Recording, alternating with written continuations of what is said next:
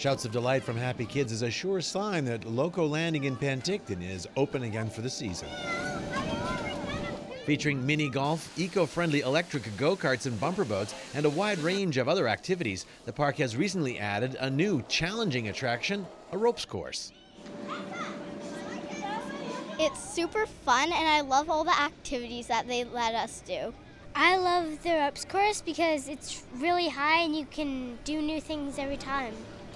Super scary when when you're first on it, but then once you get to maybe the top level and you've done a couple of them, then it gets really fun and then you get to and then you can go faster and faster each time and it's really fun.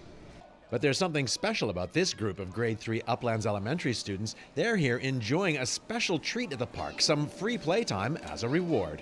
Every year we run a program at Loco Landing called Food for Fun, which is where we offer every single grade 3 student in the school district an hour of fun for free in exchange for food bank donations. And uh, this year we raised over 1,800 pounds of food, so a couple thousand items for the food banks. This class raised more donations than any other school in the district to claim the free time at Loco Landing. We were competing in the Loco Landing Food Bank Challenge and we broke a record, so we got to come back again. We got 503 pieces of food donated, and we were really proud of our work. And of all the districts in the school, um, we won out of all of them, and we were really excited. A family owned business, Loco Landing, has a philosophy of giving back.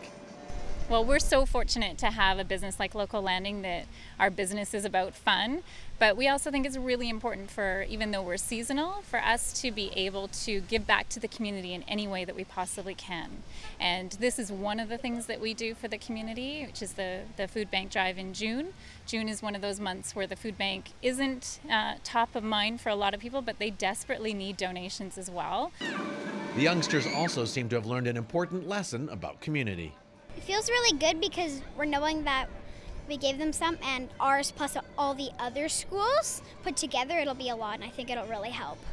Well, it took um, a lot of effort uh, to put all this together for us, and it also took a lot of teamwork. It feels really good to, after helping a really good cause, to be noticed and rewarded that we did a really good job. For Shaw TV at Loco Landing in Penticton, I'm Doug Brown.